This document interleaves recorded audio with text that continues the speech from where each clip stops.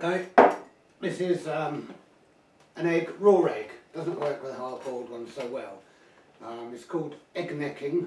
Um, it's in place of a bottleneck which gets stuck on your finger and you can't do a lot with it except slide it about. Um, with an egg you can actually pick up one string quite easily. The only disadvantage is that um, when you're playing you have to throw it to a member of the audience so you can play normally. Um, it's quite good fun, try it.